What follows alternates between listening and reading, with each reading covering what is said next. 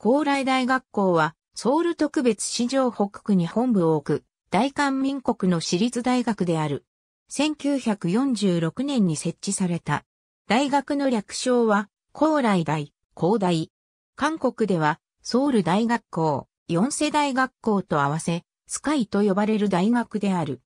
前身は1905年に設立された、広市生専門学校で、経営を引き継いだ、金聖主により、第二次世界大戦後の1946年に、総合大学として創設された。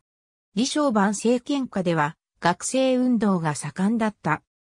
サムスングループの李健広会長は、同大学の開校100周年記念館の建設のために41億円もの費用を寄付している。早稲田大学とは姉妹校の関係である。財界に多くの人材を輩出する一方、スポーツの名門としても知られる。ソウル大学校は日本統治時代の帝国大学の一つである、京城帝国大学を、四世代学校は、アメリカ人によって設立されたキリスト教系大学を、聖金館大学校は、王子高麗、李氏朝鮮時代の王立学者である、聖金館を起源とする中で、完全に民間の韓国人によって設立された、高麗大は、民族高大のスローガンと共に知られていたが、現在では、グローバルクーフロンティアスピリットを掲げ、学内のグローバル化に向けた改革を進めている。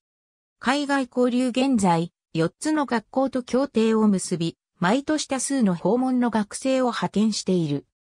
アメリカのカリフォルニア大学デイビス校、カナダのブリティッシュコロンビア大学、イギリスのロンドン大学、ロイヤルホルロウェイ大学、オーストラリアのグリフィス大学などがその対象だ。授業料は派遣校と高麗大に納付することが原則であるが、本学の授業料分は奨学金となり、返され、相殺される。その他、日本や世界中の大学への交換留学も盛んである。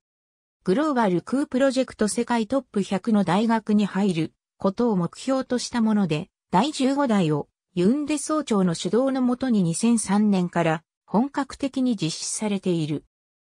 長期的には、英語教育の拡充、海外の大学との交流の強化、外国人教授の採用の拡大などを目指しており、卒業要件として要求される、TOEIC のスコアを大幅に上昇させ、2005年5月に開校100周年を記念して、世界の大学学長フォーラムを開催するなど、短期的な計画も進行している。合わせて、栄光を増やしている。